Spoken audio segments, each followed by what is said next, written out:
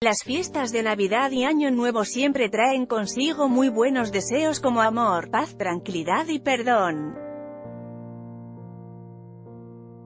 Sin embargo, siempre existen casos que demuestran todo lo contrario, pues manchan el sentido de la Navidad con asuntos lamentables y trágicos.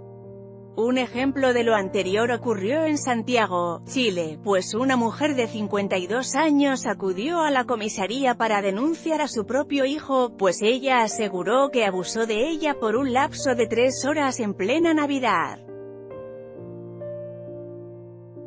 De acuerdo con Bio Bio Chile, el hombre ingresó a la casa de su madre la madrugada de este martes 25 de diciembre y llegó a la habitación en la que dormía su mamá. Al llegar al cuarto, el hombre amenazó a su madre con unas tijeras, una vez que empezó sus amenazas, abusó de ella por un tiempo prolongado para después huir del lugar.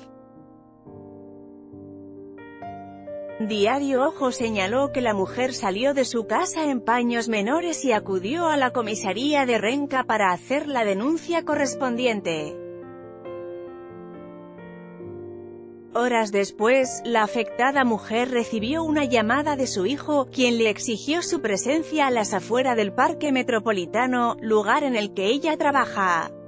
Fue en ese instante en el que los carabineros de Chile llevaron a cabo un operativo para detener al acusado.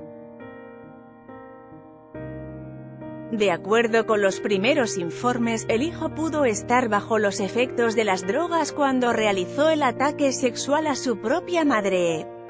Tanto la víctima como el sujeto se encuentran en la comisaría de Renca para llevar a cabo las investigaciones y deslindar responsabilidades.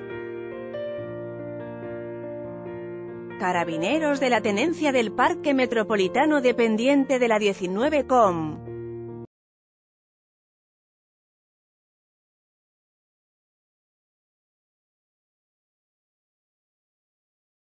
pit.twitter.com barra S1 Cupsvados Carabineros de Chile, arroba carab de Chile, December 25, 2018 En caso de ser declarado culpable, el hombre podría pagar una condena que podría llegar a los 10 años de prisión.